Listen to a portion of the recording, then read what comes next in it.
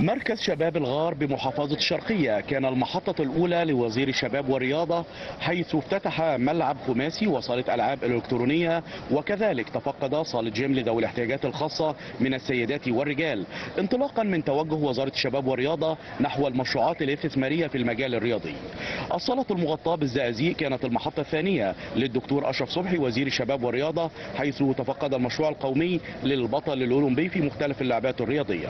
همنا جدا نطور ويكون في مصدر دخل متدفق. ده كان نموذج ونماذج أخرى على مستوى مصر.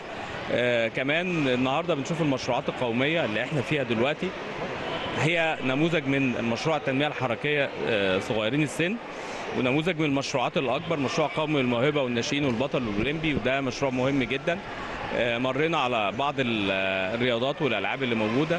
كمان لفت نظري أولياء الأمور والأسرة المصرية وحلمها إن ابنها يكون بطل ده ثقافة تغيير جزء من الثقافة.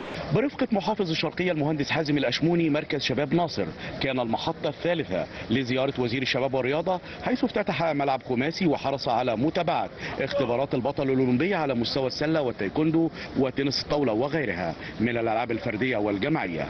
المشروع القومي في الشرقية. واضح ثماره قدامك أنت شايف العدد.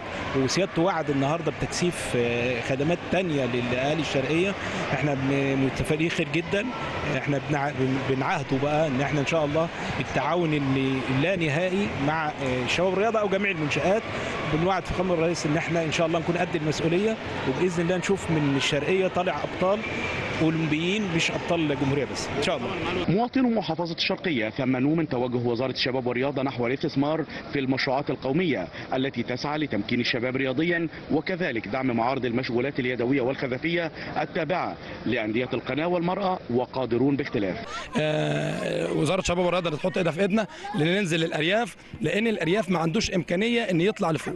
إحنا عايزين ننزل ننزل له عشان ندور على المواهب الرياضية ونصدرها فوق لوزارة الشباب والرياضة تقوم بدورها توزعها وكله يصب في مبادرة بناية بداية اللي بيتبناها الرئيس فخامه السيد الرئيس عبد الفتاح السيسي وكله يصب في مصلحة الدولة المصرية.